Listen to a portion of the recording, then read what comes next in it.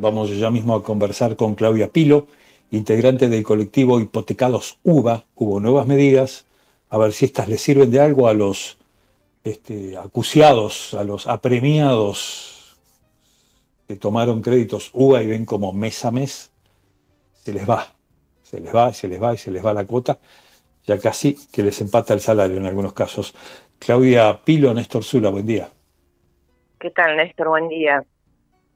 Bueno, ¿cómo están los tomadores de crédito UBA? Este, están en problemas, ¿no? Bueno, sí, estamos en problemas hace más de cinco años que nosotros venimos reclamando por una solución de fondo y definitiva para esta para estos créditos que claramente, eh, bueno, son una usura, con un 150% de inflación y venimos soportando una inflación hace cinco años, la más alta de los últimos 30 años, eh, realmente se, se han tornado impagables y hay familias dentro del colectivo que ya destinan más del 50 o 70% de sus ingresos para pagar la cuota y lo más grave que tiene este sistema, como está diseñado, es que el capital también se indexa por inflación. Eh, y en ese sentido, bueno, con este proyecto de ley lo que se ha logrado, digamos, no es todo lo que nosotros pedíamos, pero tiene algunos eh, algunos alivios. que son, sí, alivios como por ejemplo eh, el 30%, un tope del 30% de la relación cuota-ingreso para el pago de las cuotas, pero bueno, todo eso que no se pague en este momento va a ir a parar al final del crédito, ¿no es cierto? No es que no lo vamos a pagar. Y se crea un fondo compensatorio para que se pague la cuota por salario en vez de por UVA y eh, que ese descalce eh, lo pague el fondo en el caso de que el UVA sea menor que el salario y en realidad ese fondo lo que hace es pagarle al banco esa diferencia para que al banco le llegue todo en UVA, o sea, el banco no va a perder un centavo, los contribuyentes no van a poder, no van a poner nada, ni un peso, porque se está instalando que el Estado, que los contribuyentes van a pagarnos las casas, eh, se está haciendo un lobby tremendo en contra de, las familias que, que, nos quisimos comprar la casa, por decirlo de alguna manera, diciendo que el Estado nos va a pagar la casa y eso no es así porque este fondo fiduciario está compuesto por los bancos, ah. no está compuesto, no es ni plata del Estado, ni del Banco Central, ni del Tesoro, ni ni nada por el estilo. Y en todo caso, esa plata vuelve, esa plata del fondo vuelve a los bancos. Así que el lobby que están haciendo en contra nuestra, la verdad que no, no se entiende por qué. Ahora, ¿cómo, cómo, cómo, es entonces el beneficio que, que salió en la semana? ¿Salió por ley? ¿Salió por, ¿Es una ley o es un decreto del, gobierno? ¿Cómo es? No, no, lo que es, es un, salió con un dictamen de mayoría en el Congreso después de un montón de comisiones que se hicieron. Ah, no está todavía vigente, no está vigente, tiene que ser ley para que esté vigente. Claro, recién tiene media sanción en diputados y los beneficios que tiene en este caso es, bueno, esto que te, que te decía, el 30% del tope de la cuota, que se pague por salario, el descalce lo pagaría este fondo que está compuesto por los bancos, el resto que no se pague ahora se pagará al final del crédito porque se siguen acumulando al final del crédito, la posibilidad de eh, suspender las ejecuciones por un año, y eso es algo que nosotros veníamos pidiendo porque ya hay familias que... ¿Qué nivel de ejecución hay? En este momento no hay ninguna, pero hay familias que por lo menos hace seis o siete meses que no pagan y mm. en los mutuos está firmado que el banco tiene la potestad a la tercera cuota de que no pagas de ejecutar, porque así están firmados los mutuos. Y también lo que propone este proyecto de ley es que durante la vida del crédito, si dos veces el hipotecado se queda sin trabajo, el fondo a cargo durante tres meses de la cuota durante la vida del crédito, ¿no es cierto? Que son Ahora, el que, el que tomó un crédito UVA ¿puede vender?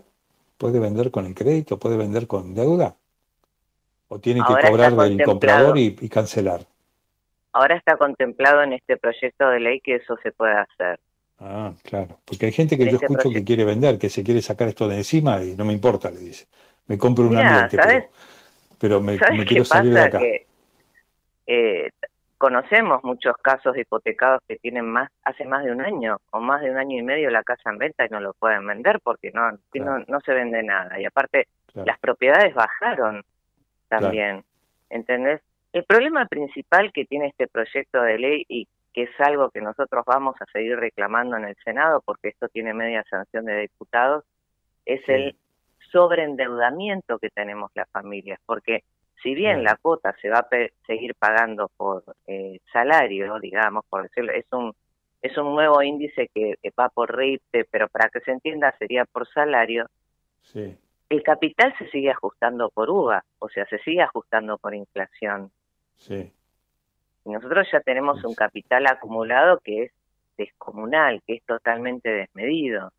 ¿Me comprendés? Entonces nosotros lo que lo que siempre decíamos y siempre hemos trabajado con los los diputados que han, bueno que nos han acompañado en este reclamo es que se retrotraiga el, el, capital agosto del 2019 que es el el primer reconocimiento del fracaso de esta política pública de vivienda durante el gobierno de Mauricio Macri que congela las cuotas y en ese sentido también la justicia con fallos que hay en, distintas provincias, por ejemplo en Mendoza, también hace hincapié en esto, que para volver a la equidad contractual habría que retrotraer los, eh, los, las deudas a agosto del 2019, porque acá lo que ha pasado es que los créditos subieron por inflación y los salarios quedaron un 25 o 30% rezagados en relación a, a, cómo se ha ido generando la deuda, ¿me comprendes? Claro, claro. Entonces, eh, nosotros hemos tenido no, no, es, no es un sistema que funcione con inflación. Claramente no es, está diseñado para países sin inflación. Es un sistema que con inflación fracasa. exactamente, con una inflación brutal como tenemos en este momento es insostenible. Entonces, si bien eh, este proyecto no es la solución de fondo que nosotros estábamos buscando, morigera la cuota. O sea, el banco se garantiza que vos puedas pagar la cuota y lo que no pagas ahora lo vas a pagar al final del crédito. Y si hay una diferencia entre salario y UVA, ese fondo que está compuesto por los mismos bancos van a hacer que eh, al banco le llegue el, tu cuota en UVA.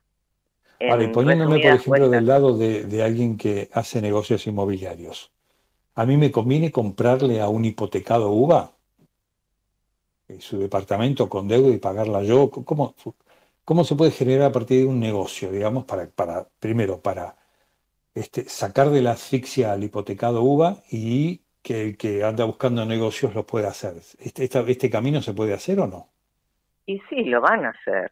Siempre hay buitres revoloteando por todos lados. Vos imaginate si, si vos tenés una deuda brutal y una cuota brutal que no podés seguir pagando, es una deuda que te querés sacar de encima, y tu casa, no sé, vale 100, te van a decir, mira, si querés sacártela de encima rápido, yo te doy 60 y te sacas el problema de encima. Claro. la realidad es esa.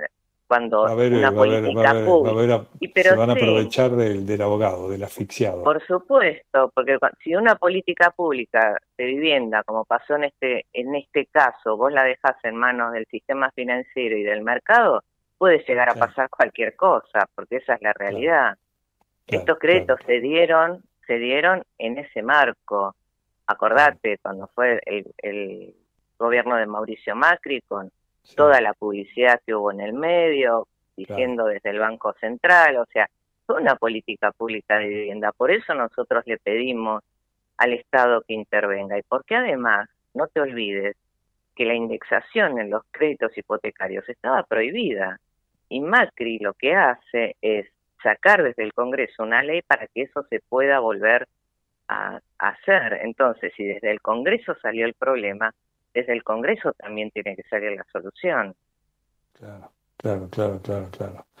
Claro. Ahora, si esta ley sale, eh, ¿en cuánto se va a aliviar la cuota del crédito UVA? ¿Hay un porcentaje, un estimado, un promedio en el que se puede eh, estimar que se va a aliviar la cuota del crédito UVA? Mira, la verdad que es muy poco, porque vos pensás que en la medida que el salario se vaya acomodando en relación a la inflación, la verdad que la diferencia va a ser muy poca, ¿me comprendés? Mm. Porque también el RIPTE, no sé cómo va cómo se va a, implementar ese, ese índice, pero vos acordate que el RIPTE es todos los trabajadores este, formales, entonces también tiene que ver cómo se, cómo se den las paritarias. Entonces el RIPTE no siempre impacta de la misma manera en relación al UVA. ¿Me comprendés? Entonces, eh, lo único que tiene esto que, bueno, al ser el 30% de tu relación cuota-ingreso, vas a poder pagar la cuota y la diferencia, entonces en ese caso la pagaría el fondo y si vos pagabas una cuota de un 50% de tu relación cuota-ingreso, ese 20% restante va a ir a parar al final del crédito. Con lo cual, imagínate que en créditos de 30 años, como tenemos la mayoría, esto va a ser una deuda eterna con el banco. O sea, vamos a ser inquilinos de los bancos. El tema es cómo pagarlo después que uno deja de ser activo con la jubilación. Exactamente, exactamente. En esos casos, ¿qué va a ser también? La relación, el 30% de tu jubilación. y, de, el resto seguirá yendo al final. Y el, resto seguirá yendo al final del crédito. Em, el final va a ser en, el, Jardín de Paz de Pilar, porque digamos, ¿dónde va a ser el final? En el mejor de los casos, si no va a ser en Chacarita, en una... Claro, en, el este, crematorio. en el crematorio, pero em, en realidad eh, nosotros hemos tenido el acompañamiento de los partidos de izquierda, de, de Julio Cobos, que fue también el que más perseverancia tuvo para que esto se trate, porque ya te digo, la lucha nuestra viene desde julio del 2018, donde hemos, te puedo asegurar, tocado todas las puertas, todas las puertas. Este, y en su momento el oficialismo de ahora, cuando era oposición, acompañó nuestro reclamo, eh, pero como solución llega tarde.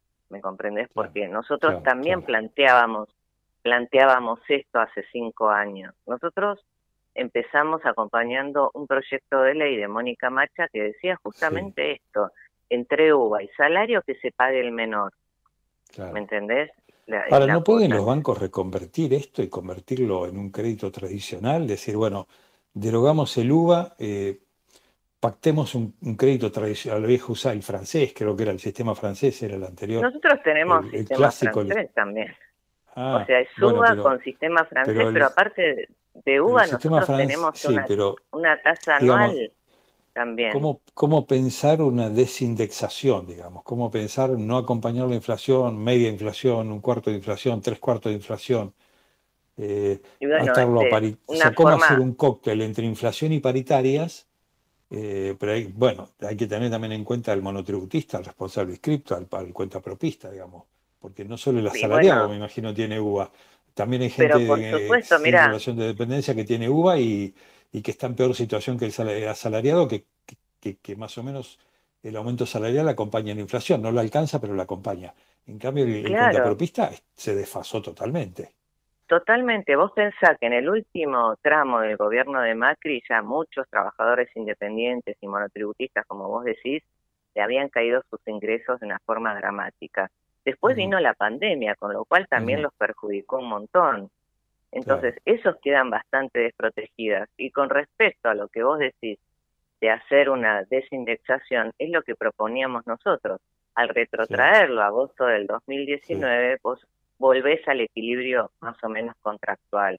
Pero obviamente para eso tiene que haber una decisión política que se ponga del lado de la gente y no del lado de los bancos, porque los bancos salen a patalear desde el del día uno que nosotros estamos reclamando. ¿En pandemia pararon las cuotas? No. En pandemia siguió el UVA. ¿En pandemia se pararon las cuotas? No. Siguió. En pandemia tenías la opción de diferir, eh, de no pagar y diferir las cuotas al final del crédito. Bueno, lo mismo de lo mismo de ahora, digamos, hay que pagar en un momento hay que pagarlo antes. En algún momento hay que pagarlo y todas las medidas que se tomaron como de congelamiento y diferimiento, no te creas que no los vas a pagar. Fueron todos a pagar al final del crédito, con lo cual se fue este, extendiendo la vida del crédito. Entonces, el, el, otro día justamente estaba leyendo un comunicado de ADEVA, eh, de los bancos, ¿no? Y de ADA que decía que si se hace alguna modificación que se haga para nosotros, esto va a comprometer el crédito hipotecario a futuro. Cuando decime qué persona hoy puede tomar un crédito con una inflación de un 150%. No, y de hecho nadie lo toma. De hecho nadie, lo toma. Entran, entran todo el día mails de los bancos ofreciendo créditos. Este, que nadie los toma, están desesperados los bancos. Pero tampoco... A mí, me mandan bancos que ni me conocen, este, 20 mails ofreciéndome que tengo créditos disponibles, qué sé yo, ni pregunto por la tasa, porque la tasa debe ser del 100%, me prestan 100 pesos, devuelvo 200.